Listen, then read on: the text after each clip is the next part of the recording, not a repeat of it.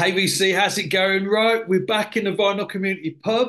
I'm John, 6 inch pianist 319, and once again, I'm joined by my mate Headley, another fat bearded man talking about records. Yeah, hello. I was going to say something else, but I, I, I panicked. That was a little bit weird, that was. Yeah, I know. Sorry. Right, so, well, so last time we were in the pub, we had Madam Sim with us, didn't we? I know. And we decided that you just can't follow it. No, no, he's yeah, he was good, wasn't he? He's very he got a tale to tell, hadn't he? But but with with Paul, we were talking about um, you know, the importance and the romance of the seven inch single, just how, you know, jukeboxes, that's what it was all about. Mm. Playing those seven inches, the A side, the B side, you know, fantastic. So so today, on the back of that, we're going to talk about album tracks. Oh yeah, album orientated. what is yeah. it? AOR. That's it. You know, so so so imagine Headley, we're in a pub and we've got a jukebox. I suppose it's the whole CD era of jukeboxes, isn't it? You know, yeah, where also you have got full albums on jukeboxes rather than just uh, rather than just forty fives. Yeah, which means I suppose that you you don't have to pick all the singles and things. That's you right. can get the, yeah. the, the the obscure, uh, uh, you know, uh, filler singles that no one liked. Well, that's it. It's just the. Uh, I mean, you, you can quite easily lose a lot of friends, couldn't you? Playing album tracks off in, in a oh, pub yeah. on Friday night. You know? Oh, this is the obscure Smith's polka number that they put on. Yeah, yeah. That's right. Or nobody's going to thank you for playing a, a Rick Wakeman ten-minute keyboard solo, are they? You know, on a Saturday night. No, so, no, no you're, safe with me with that one, John. Yeah, you know that. I'm you know yeah, that. Don't worry about that. Yeah. Right then. Okay. So, what are you drinking? Okay, now, right. Okay. I've got. I'm a bit parched actually because I haven't been drinking when we were chatting earlier, because I've got. Now it, it looks like a bottle of San Pellegrino, yeah, which is just water.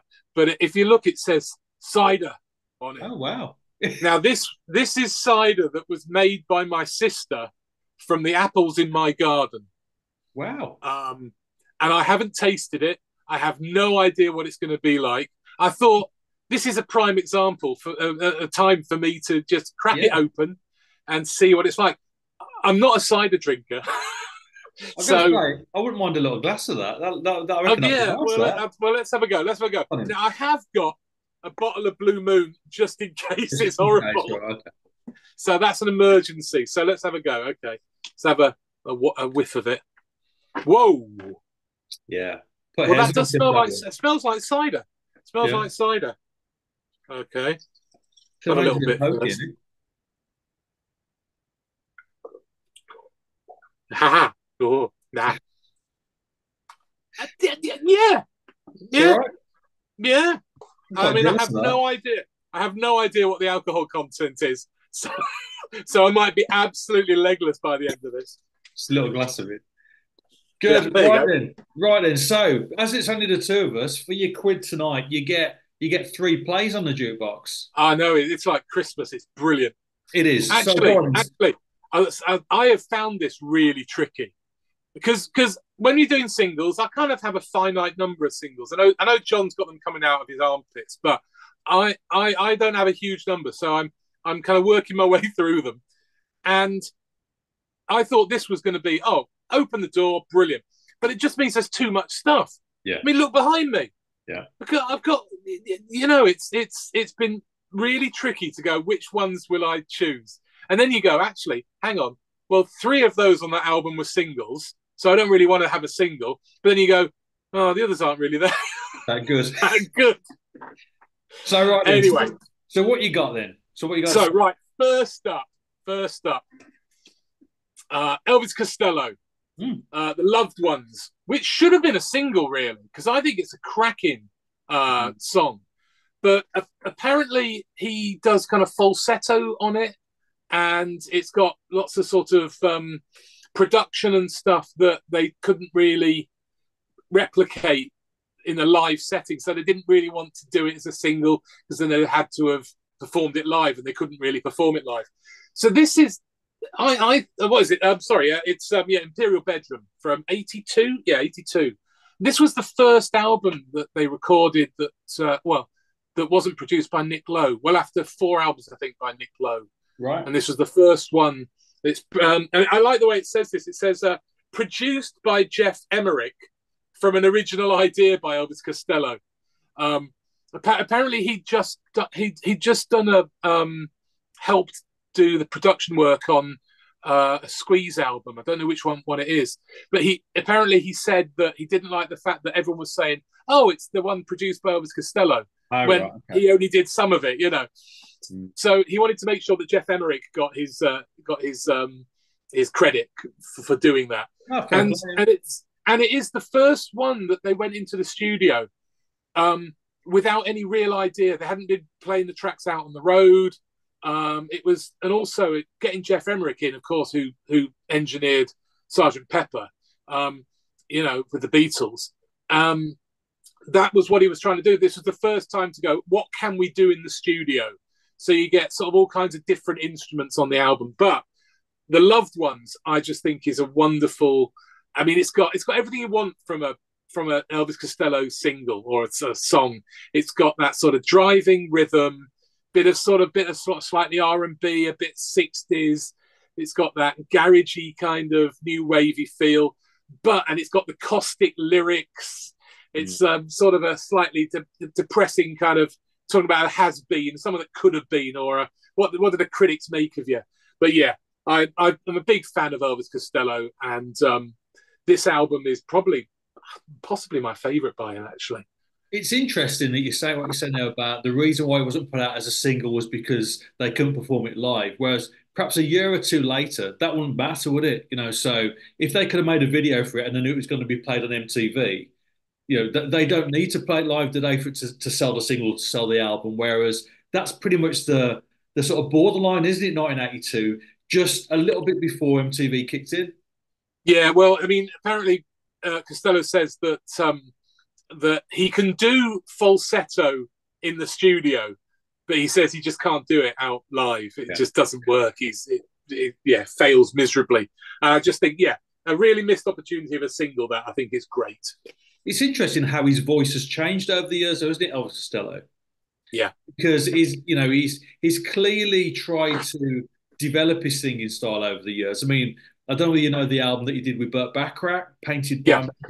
Painted from Memory, which I think is a great record. A lot of people have put off that record because of his voice, not yeah. songs, but because of the way that he's he's projecting his voice. You know, so yeah, lots yeah, well, of well, well, that, you know.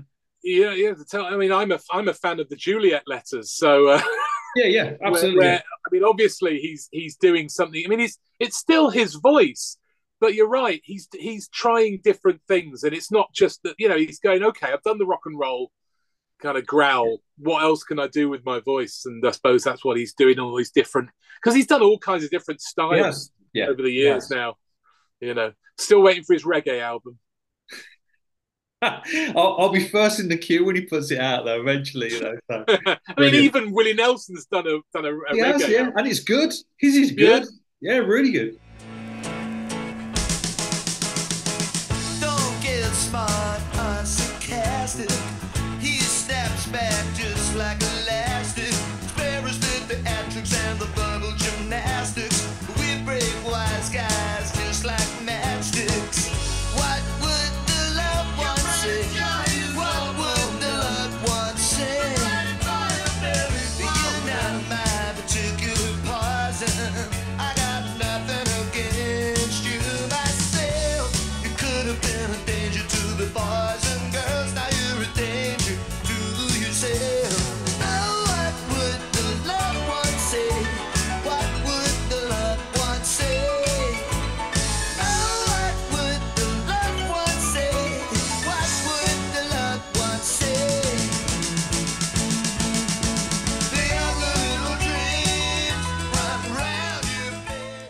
What you okay. got then? Right, so first up for me is uh, New Order, Power, Corruption and Lies. And I'm going with the opening track, Age of Consent.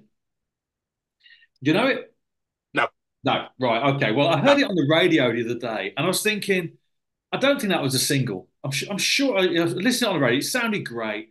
And I think I'm sure that wasn't a single. I, said, I went home, looked it up, it wasn't a single. And it, as you said with the, the Elvis tune there, it certainly should be. It's a great song, you know. Mm. And I just this is a I think this is their second album as New Order, isn't it? I think you know. So, um, but I, I saw an interview with um, Bernard Sumner recently, and he was talking about the death of Ian Curtis. You know, so obviously when uh, Ian Curtis passed away, they decided to carry on, but as you put it, you know, incredibly naively, they put all of the the Joy Division legacy aside. They didn't use a name. They didn't perform mm. any of the songs.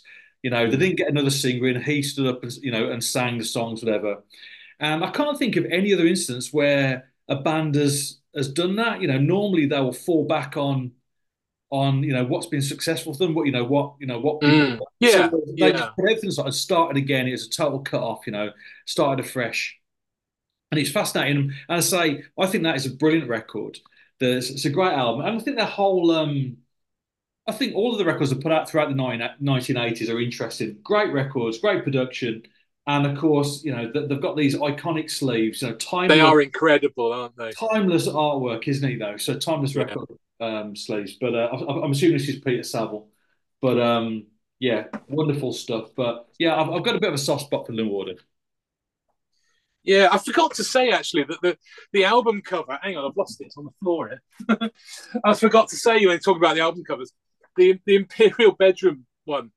It's in the style of Picasso, yeah. but it says it's um, called Snake Charmer and Reclining Octopus by Sal Forlenza, 1942. And oh, it isn't. It's it's done by Barney Bubbles. you, you, had me sold for a minute there. Blimey. Yeah, no, no, yeah. Barney Bubbles did that for this, and apparently, apparently, someone said, "Oh, does he not know it's just a rip off of uh, Pablo Picasso?" And he goes, and Elvis Elvis Costello was able to go, "Yeah, have you noticed? If you look in here, it says P A B L O C. So it says Pablo on it. So it's it, yeah." There you go. Sorry, I forgot about that. Very good. Mentioning the oh. covers, yes.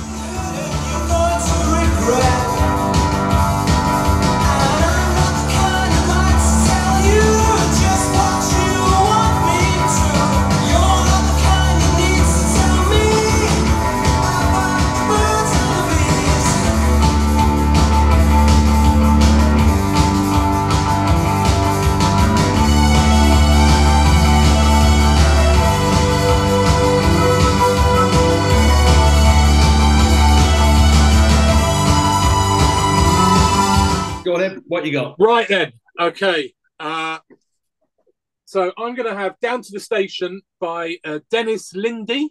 What? I think it is Lin, Lin, Dennis Linde. Down to the Station. That doesn't that look like a prog rock album?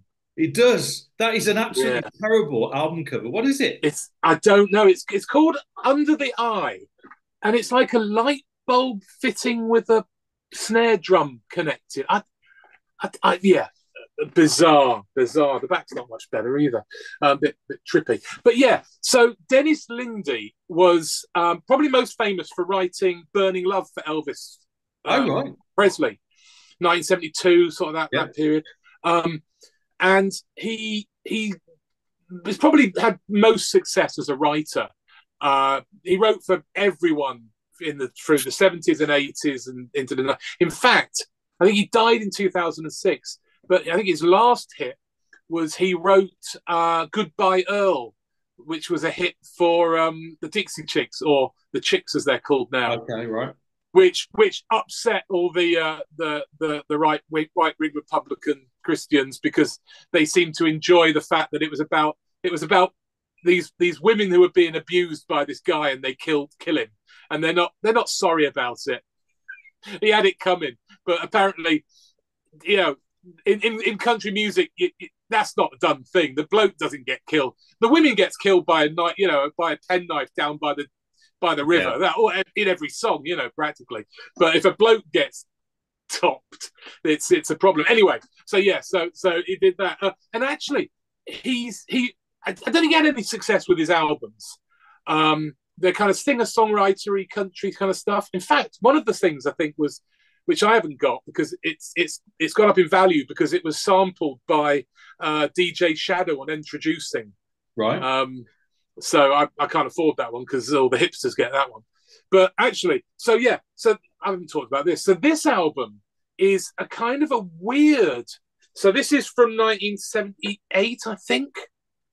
Yeah, 78. It's on Monument Records. And it is a kind of weird, funky, kind of modern sort of synthesizers and stuff country. It's quite odd. In fact, the, the, I think the track down to the station was was featured on the latest um, country funk. Oh, was um, it? Okay. Uh, compilation that, that you know the one that kind of went into the more disco yeah. country stuff. Yeah, yeah. Um, but this one isn't disco, but it's very ahead of its time for 1978. A kind of a country sounding record. Um, really weird, sort of yeah, new wavy, funky, not disco-y country. I think you're right though. I think a lot of prog fans were clearly very, you know, were really disappointed when they bought that record. record and, and, it turns out to be a disco country record. I mean, yeah, I know, I know. I don't even know what's going on with that album cover, but yeah, it's a cracking track down to the station. So-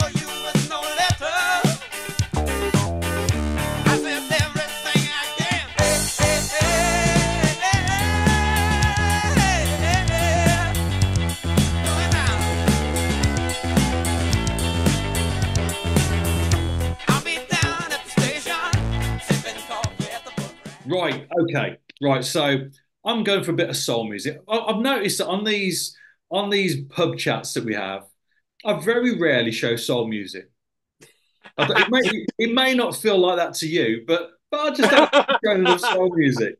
So I'm going with the Sweet Inspirations. This is their debut album from 1967. So, and the reason why I'm picking this is because there's a there are a couple of tracks on here which are in that sweet spot for, for, for both you and I. So it's that area of music where soul meets country. And we, you know, when, when we're talking, we often talk about this, don't we? You know, so yeah. and and for me, there's it's not just about the artist. Sometimes it's it's particular songs which really suit either soul or country music, whatever style they're done in. So there's two on here. The first one is "Let It Be Me," which yeah, you know, I think I first heard done by the Everly Brothers, probably. Everly Brothers, yeah. Yeah, but I mean, it's been done by numerous people. I know that uh, Betty Everett and Jerry Butler did a lovely version of it. I think, I think, um, I think Linda Ronstadt's done it. Yeah. What version done by her? Bobbie Gentry and Glen Campbell, I think, did it as well. Oh, is it on that album? That, well? um, that, that duets album that I'm sure yeah. as well. But yeah, so that, that's on here. But the song that I'm going to pick is, uh, which I first heard through Aretha Franklin's version, her original, "Do Right Woman, Do Right Man." But I know Hedley that you are going to reference the Flying Burrito Brothers because their well, version, their version is gorgeous as well, isn't it? It is. Well, I was, I was actually, I was going to say, um, uh, didn't I? Uh, recently, I picked up a Kitty Wells record, right? That that was produced, but well, done for for um, Capricorn Records, and it had loads of um, uh, southern rock uh, artist all, yeah. all, on it, and she does a cracking version of "Do Right Woman" on it. Oh, really? Uh, well, which is really really good. You'll have to you'll have to listen to that. You'll have to listen to that. Yeah, yeah. But it's it's a g- glorious song, and I think what makes it really special is that every version that, that I've certainly I've heard of it, it's all about the harmonies, and and this this mm. this version in particular, it really shows off their their harmonies. I, I, mean, I don't know what you know about the Sweet Inspirations, but they, I mean, during the course of their sort of, you know, the, the band's life, where the, uh, Dionne Warwick was was in the band, was in the oh, group. Right. Um, Cissy Houston was in it at this point. So you've got a few sort of. And, that, and that's on Atlantic, is it? It's on Atlantic, yeah. So they, they recorded for Atlantic. Atlantic clearly really liked them. They put out a few, uh, three or four albums on Atlantic. They yeah. then went to Stax, made a brilliant record for Stax, and uh, yeah, it's that, it's that, it's that sort of um, that southern southern soul, southern country crossover thing, and I think it really works. It's it's just lovely. But this is a great sounding record as well, and I don't think it's particularly expensive. So Mm. anybody who's collecting soul music, this is definitely one to look out for. I, I certainly didn't pay too much for it, but yeah, and of course they backed Elvis as well. They were the um, the backing group for Elvis, certainly the late sixties, early seventies. Oh, right. I actually saw them live. So I don't know if you remember about 20 years ago, they had that thing. So, you know, nowadays you have like the ABBA thing where they've got um, the holograms. You Oh, know, yes, so you, yes, you have the, yes. you've got the thing with the holograms. So, so back in the early 2000s, the whole deal, you had a big screen with the Elvis performance on the screen, but you had the original musicians playing the music. Uh-huh. and uh, you know it's it's a little little, little bit less uh, it's a bit more basic than the hologram you know sort of thing but it was great at the time but as part of the band they did have a version of the sweet inspiration so yeah that was lovely but yeah great Good stuff.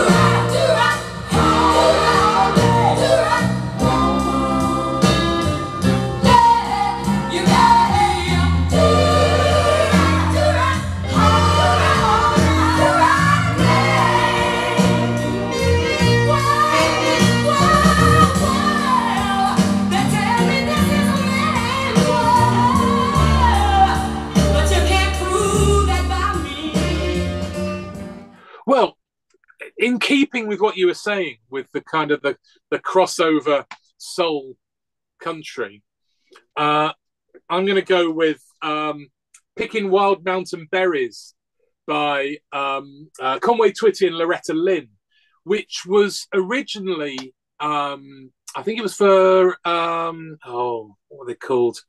Peggy Peggy Scott and Jojo Benson Hmm.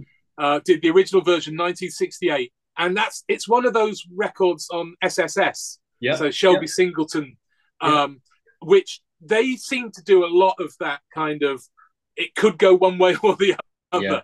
you know a lot of the writers would be writing it could be a soul song it could be a country song.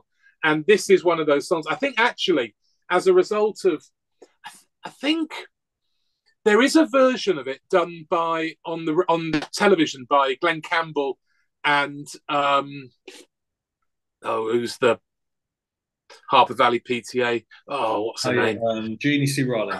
Jeannie C. Riley. Um and that's really good. But the interesting thing about this song it's it's a fun it's a kind of a funny song if you don't know it. It's it's a song about two people two lovers who have been off in the in the forest uh getting it on and coming back and telling everyone where have you been? they say. Where have you been? Oh we've just been picking wild mountain berries. That's what we've been doing and there's and there's a line in it that says and and we didn't go skinny dipping in the lake. And uh, on the on the TV one that Glen Campbell and Jeannie C. Riley they don't say skinny dipping they just go swimming in the lake. Oh right okay. Which is interesting. But Loretta Lynn uh, says skinny dipping. But um, yeah so it, it- yeah the original one was a, a sort of a bit more of an R&B soul track but it's still got soul to it this one. Yeah. And it is great it is great. Um, lovely tune but, and but- they are great together. When you when you talk about country duets, I think Conway Twitty and Loretta Lynn are probably the pinnacle of those that Really? double act. I Right. think they are because he's he's got a really great voice. He's, he's, I like the one on the back. Of it. He had the biggest hair in country. It's not very big at this point.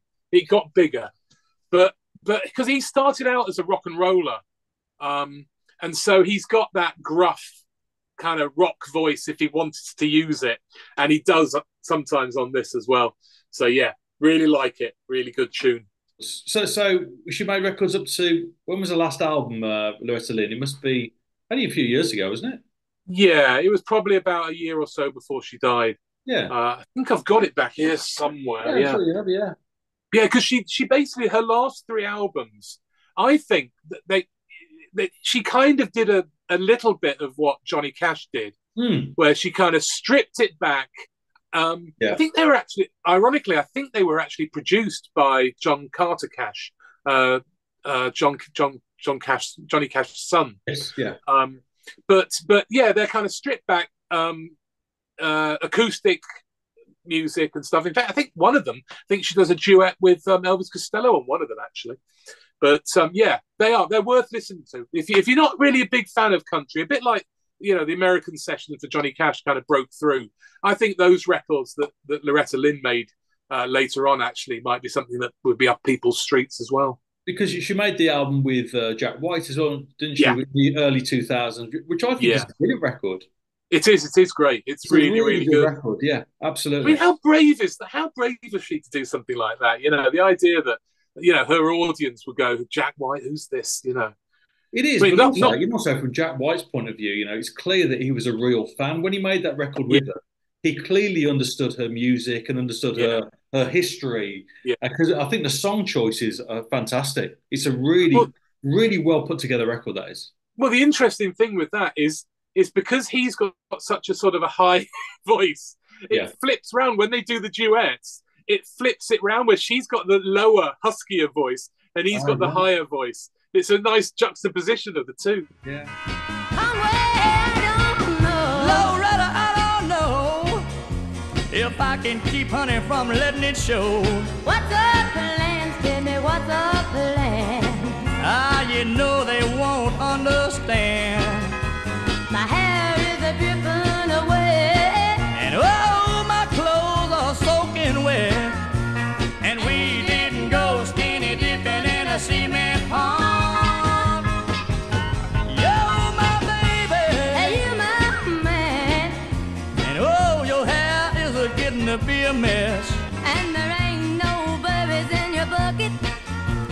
explain it, honey, the best that we can.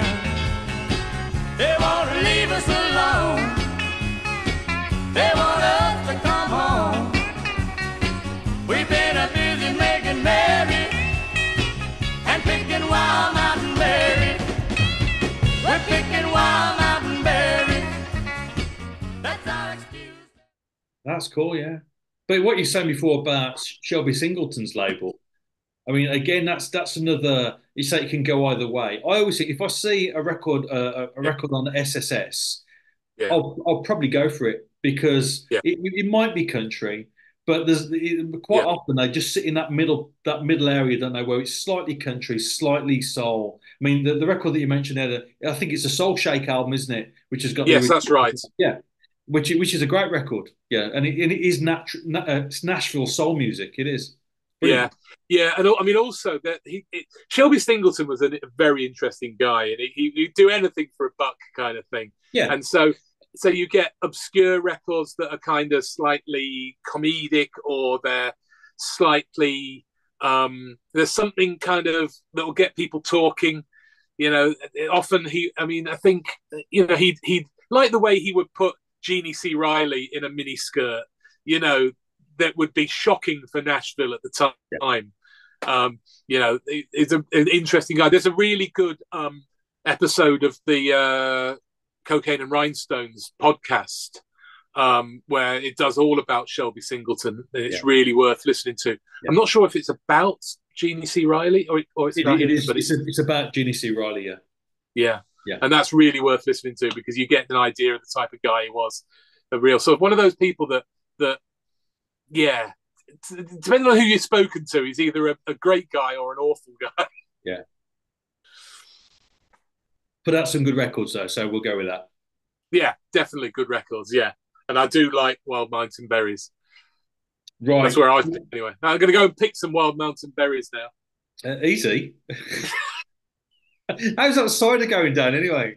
I think that's why I'm going picking Wild Mountain Berries, see what I can do with those. This is good right? stuff. Is it all right? Yeah. Yeah, yeah. As, as a non cider drinker, it's all right. Is it sweet or you know? Where's it? It is sweet. It is sweet. Yeah, Mm. got a bit of a kick as well. Mm. It's not cloudy, so I'm not. It's not not like dangerous scrumpy. Yeah. You know. The, Oh, the, I'll tell you what. I love a glass of dangerous stuff. I I really do. Yeah. Yeah. I don't think I've seen a dangerous scrumpy since the last time I went to a music festival and saw some guy carrying around a, a sort of a, a petrol canister with it in. Mm. Right. Okay. Right. Right. So next up for me. Oh, I forgot you've still got another one to do. Yeah, I've got one. Yeah, I was ready. I was ready to go. down in your drink. Time I was. please. I'm right. I've got. I've got to pick left. Right. Marcia Griffiths. Right. So this is her album, "Sweet Bit of Love," from I don't know mid seventies or something. So.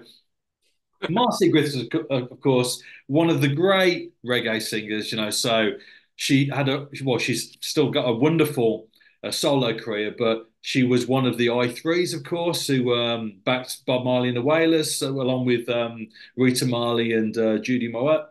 Um, and of course, for me though, probably best known for the records that she made with Bob Andy in the early 70s as Bob and Marcia, Young, Gifted and Black. We, you know, Oh, yeah. we, we were talking before about the romance of the seven inch single. For me, that is a perfect seven inch. You know, Young, Gifted and Black, it just makes me, takes me back to being a kid. It's a perfect. When you were young, gifted, and black, Yeah. yeah. Yeah. Not necessarily the, uh, not it necessarily all the went wrong for you, didn't it? More the song than the, the message itself. But yeah, it's oh, it's a great. You've had too many of those ciders already. That's what it is. But uh, oh yeah, great song. Anyway, but this what I'm picking up here is uh, her tune "Here I Am, Baby," which is a cover of the Al Green song, and so and strangely, it's not a. So it's strangely, it's not a uh, a reggae tune at all. It's it's done in a straight soul soul style, but with a, a Jamaican reggae vocal, and it's beautiful. Right. She's got a great voice. I, I think you've got some of her records, haven't you? Have you got the Yeah, I think so, album? yeah, Yeah, yeah. yeah. No, she's got a great really. Really Yeah, like that. Great, stuff. great record. And and again, one of those. If you see a record with Marcia Griffith's name on it, buy it. They're always good. There you go. There you go. Oh, I'm glad we stuck around for that. Hmm. Thanks for that.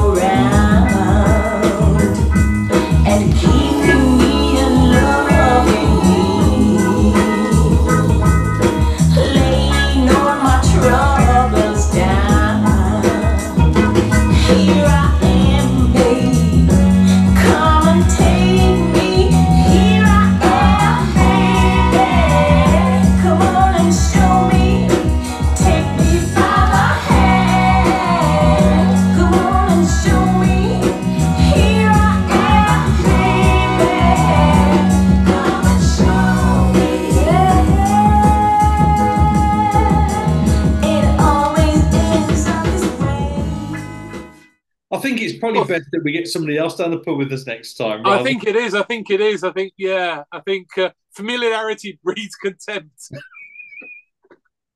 yeah. as they say. yeah. Uh, what happens now? I don't know. Go home, don't we? The only Yeah, thing, we are home. We are home. the, the- the only problem. thing is though is that you know. So what the blokes do? So your other half, she's away. She My is, yeah. is working. So all, all you can do if you're a bloke at home on your own is is go to the pub, isn't it? All right. Hadn't thought about that. That's what happens, isn't it? Well, my local's closed, so yeah. So I'm stuck here drinking my, my sister's cider. So is, does your sister regularly uh, brew her own? Uh, This is the first. Well, as- this first I've I've had of it. right? Um, I don't know. She's she, she's she's always got something on the go. She's sort of you know she'll come but she'll say, "Oh, I've made you some some felt slippers," you know, or or she's crocheted something, you know, a, a, a cap or something. There's something going on always with my sister. Does she not like you? Is that why she's making you wear felt slippers with a cap? She knows I'm the only sucker that will wear them. Felt slippers and a cap. There's been crocheted. Jesus. I know. Oh, I hadn't thought about that. I just thought it was really nice. Oh well. Right then. Right. This hasn't been awkward at all. No, not at all. Right. See you next time.